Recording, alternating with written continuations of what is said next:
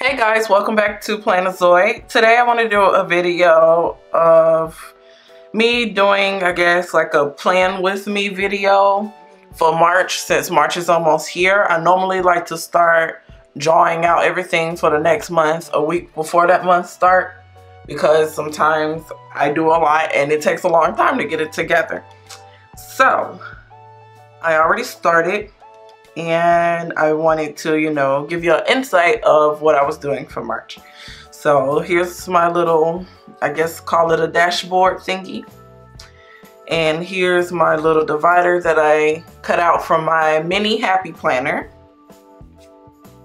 And don't forget with these right here, I use these every year. I'm trying to save some money here.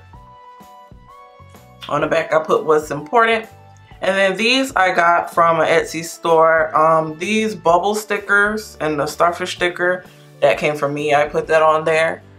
Um, I was trying to go for like a little sea underwater theme for this month. Except for St. Patrick's Day. St. Patrick's Day, I put green. So that's what I was trying to go for. So I already did most of the month. This font, I saw it on Pinterest and I thought it was really pretty. So I decided to draw it out. Um, it took a while because I can't draw and I really don't like to draw like that. But it was so cute and I really wanted to put in my planner. So that's how it looks so far. I'm still working on it because on the back side I always put my gratitude pages. So that's how it's looking so far. So let's get right into it. Y'all know me, I have to do the last couple of days of the month because I don't want this video to be super long. So I'm to do the 30th and the 31st.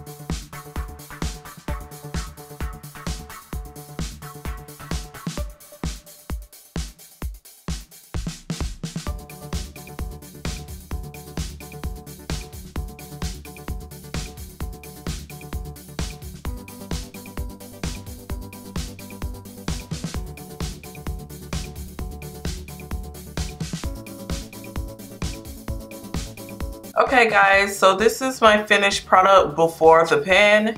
If you're wondering to yourself, how is she gonna write around all them stickers? Trust me, I have a way. Um, I really don't write too big in my planner anyway, especially since I have um, fine tip pens.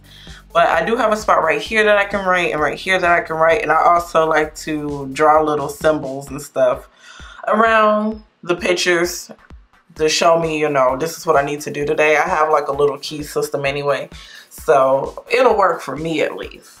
But this is my finished product for these two pages. This is so cute. Um, I don't know. I like the pink seahorse a lot. So I'm like, why did I use it two times? I could have used a different color. But I like the pink seahorse. Thank you so much for watching. Make sure you like and sub for more content and look out for an upcoming video where I'm going to do a flip through of my planner since I gave it a little makeover and I'll also give it a little flip through for March too with the pen. So definitely stay tuned for that. Make sure you also check out my social media pages and thank you guys. Just thank you.